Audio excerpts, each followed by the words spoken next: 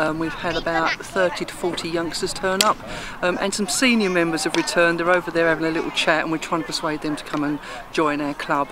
Um, we start players playing from the age of 6 up to the age of 11. That joins our mini section and they come and play on a Thursday evening 7 o'clock till 9 o'clock.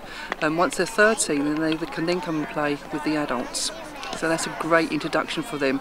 And they might be playing in the ladies' third team. Our oldest player is 70. He's due to, might get a 13 year old and a 70 year old playing on the same pitch. Um, we have three ladies' teams. Ladies' threes play at a lower level, a bit like a tap and uh, tap and go hockey. Ladies twos are just that little bit more serious and the ladies ones are doing fantastically uh, this year. They're playing in very high level, playing in teams in Kent um, and they go right to Cambridge. They travel quite a lot. They're our, they're our superstars.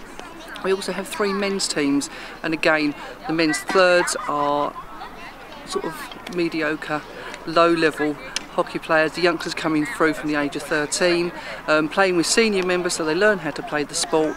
Men's twos, very high aggressive hockey. Um, they're doing very, very well. And men's ones, again, our, little, our superstars playing at a very, very high level. So Thurrock Hockey Club has been going for 115 years now in the borough. So we've gone from black and white to colour.